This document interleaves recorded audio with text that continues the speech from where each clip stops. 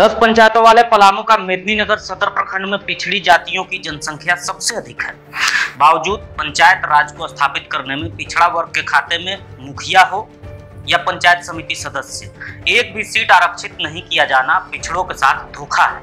इतना ही नहीं, सीट को आरक्षित करने के मामले में पैसा खाया गया है। यह गंभीर आरोप लगाया है अखिल भारतीय कुशवाहा महासभा युवा मोर्चा के अध्यक्ष अजीत मेहता ने।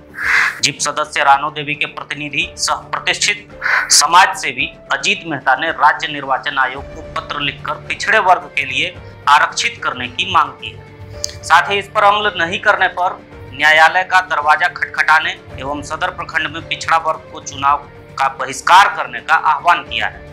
अजीत मेहता की माने तो 2011 के जनसंख्या के मुताबिक चक्रानुसार आरक्षण की पद्धति को लागू करना था। तकरीबन छियासठ हज़ार की जनसंख्या पर तेईस हज़ार तो पिछड़ा वर्ग के लोग बसते हैं, मगर पैसा लेकर एन के एन प्रकार पिछड़ों को दरकिनार किया गया, जिसके खिलाफ पिछड़ा वर्ग के लोगों में आक्रोश है। साथ ही चेतावनी भी दे डाली कि न्यायालय में याचिका दायर तो करेंगे ही। पिछड़ा समाज पंचायत चुनाव का बहिष्कार भी करेगा। 2011 के जनगणना के अनुसार 23 नौ 2014 का एक पत्र आया है, उसमें 1615 पत्रांक के माध्यम से उपायुक्त को चिट्ठी मिली है, उसमें स्पष्ट है चक्रवाद वाद जो चुनाव कराना है, जो गजट है हमारे पंचायत चुनाव कराने का, उसमें स्पष्ट है, सभी जाति, सभी धर्म को मौका देना।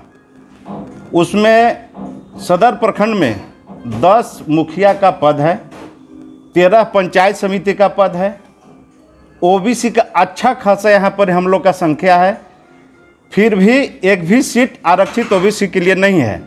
जो आप लोग के हम बता दें कि पहले एसटी से रिजर्वेशन चालू हुआ, उसके बाद एसी अबरी बार जो है कि ओबीसी आरक्षण देना था। लेकिन अभी जो हमें जानकारी है कि पैसे के खेल हुआ है ज़िला में, और ओबी का, ओबीसी का सीट एक भी यहाँ पर आरक्षित नहीं है, और हम लोग ओबीसी समाज, पलामू जिला के जितने भी हैं सब हम लोग कोर्ट के दरवाज़ा खटखटाएँगे त्रुटि सुधारने गया तो।